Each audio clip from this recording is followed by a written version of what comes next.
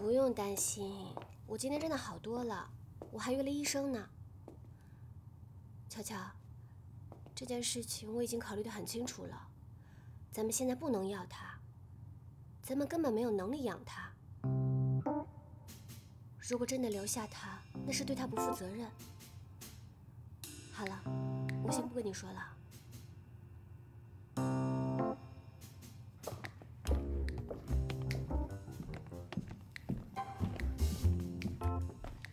这马上就要采访了，你怎么突然要吃橘子呀？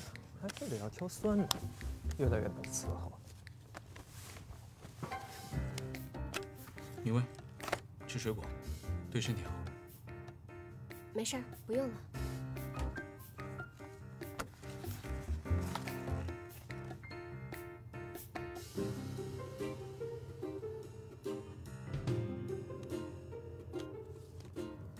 谢谢。